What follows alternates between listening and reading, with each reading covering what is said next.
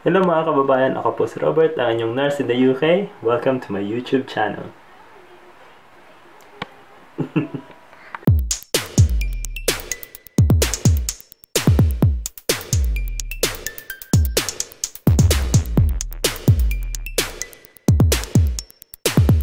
Hello mga kababayan, so today isa-share ko po sa inyo ang 3 steps to work as a nurse in the UK.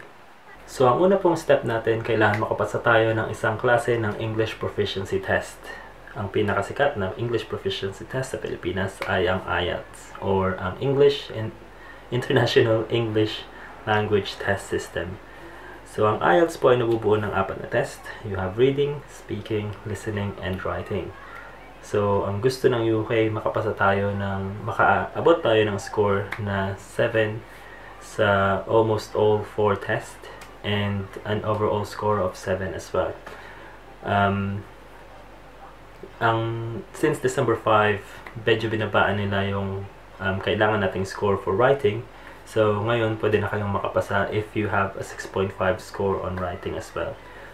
Um, isa pang tip, um, pwede kayong makapas kung, kung for example nakapasa kayo ng 7 on 2 tests and unfortunately yung dalawa yung test hindi kayo nakapasa up to 6.5 or 7 pwede kayong mag-test ulit as long as it's apart um 6 months apart. So pwede nyo i-combine yung score nyo from your second test with the other with your first test um, para maipasa nyo yung dalawang hindi nyo naipasa nung first time yung nag-test. So, keep your test scores from the first one and then try again. As long as they're 6 months apart, ay accept nila yung dalawang test results together. Yes. Kung gusto niyo pa pong malaman kung ano pa yung requirement nila when it comes to the English language test, I will put the link under my video para makita niyo po yung galing sa NMC website mismo. Ang susunod na step po natin ay kailangan makapasa tayo ng CBT or yung computer-based test. Ang computer-based test po ay multiple choice test at ito po ay ginaganap sa different Pearson VUE test centers worldwide. So, ang tip ko po dyan, kung pupunta po kayo sa Work Abroad PH website, makikita niyo po na mayroong mga um, agencies na tumutulong na makapag-take kayo ng CBT. Um, for free. So, hindi nyo na kailangan magbayad. Uh, pero ang, I suppose, ang mangyayari dyan kapag nakapasa kayo, obviously, yung agency ang tutulong sa inyong makakuha ng interview sa mga hospitals kung saan sila linked. So, ang mangyayari lang dyan eh, hindi kayo makapili ng hospital na pupuntahan nyo unless you have more than one interview and then more than one hospital wants you to work for them. So, doon na kayo makakapili ng um, hospital na gusto nyo pagtrabahuhan and it will be limited to the ones that are linked to the agency as well. So gaya po ng sinabi ko, ang computer-based test, meron po yung fee. Pero kung pupunta kayo sa Work Abroad PH, makakahanap kayo ng mga agencies na tutulungan kayong sila na yung magbayad ng test. Sometimes it doesn't really come from the agency, it comes from the hospital themselves na tulungan kayong makapag-test para kung sakali makapunta na kayo sa UK agad-agad. So, ang mangyayari po dyan, pag nakapasa na kayo ng IELTS, nakapasa na kayo ng CBT, almost likely na kayo makapunta sa UK. Dahil ang susunod dyan ay ang step 3, which is the OSCE. So, ang OSCE po stands for Objective Structured Clinical Examination. So, dito lang po yan sa UK makukuha dahil kung wala kayong IELTS, kung wala kayong CBT, hindi po kayo makakapag-OSCE. So, kaya, gaya po ng sinabi ko, pag nakapasa na kayo ng IELTS at nakapasa na kayo ng CBT, automatic na kayong almost makakapunta dito sa UK as long as all your paperworks work out and all your medical checks have worked out.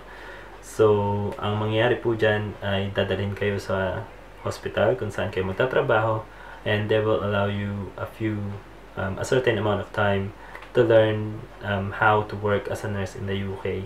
And then, sa OSCE, sa actual examination, you will have to go in six different stations in the test center um, kung saan kailangan yung ipakita sa kanila um, kung paano kayo mag assess kung paano kayo magpa-plan, kung paano kayo mag-execute at mag-evaluate ng care nyo sa patient.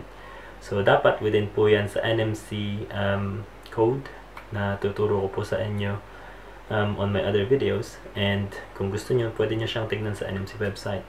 And ang tip ko po sa inyo kapag nagsimula na kayo magtrabaho dito and you're on your way to take your OSCE exams, um, madaming Filipino sa UK that you can ask for information kasi alam ng mga um, Filipinos dito na nagtatrabaho dito sa UK kung saan mas magandang mag-test, kung saan, kung ano yung kailangan nyo talagang paghandaan um, before kayo mag-take ng OSCE. And also, ang maganda dyan, uh, pinago na din ng NMC yung konti nilang rules before kapag ka nakapag, pag hindi ka nakapasa ng OSCE, kailangan mong ulitin lahat. But now, you only have to repeat what you failed on your last OSCE exam. So, mas pinadali na rin talaga nila kung paano kayo makakapasa sa OSCE. So, there you go. That's your three steps to start working as a nurse in the UK. So, first, you have to take your IELTS. Second, you have to take your CBT. And then, pag nandito na kayo sa UK, you will take your OSCE and then you will get your PIN number. Your PIN number po ay yung ang, ang inyong license number dito sa UK. So NMC stands for Nursing Midwifery Council. Sila po yung parang PRC dyan sa Pilipinas na nag issue ng nursing licenses to trained nurses. So there you go. Sana po naging informational tong aking video and hopefully makatulong tong makapag-inspire sa iba pang nurses sa ibang bansa kung gusto niyo magtrabaho dito sa UK. Thank you very much. Kung nagustuhan niyo po yung video ko, please subscribe to my channel dahil pala ko pa pong mag-up, mag-upload ng more videos for the future and hopefully give you some more tips kung kunwari na nandito na kayo sa UK, how much do you think yung mga nurses dito makes um, when it comes to salary. So yun, sana po ay tutukan niyo pong mga video ko and I'll see you next time.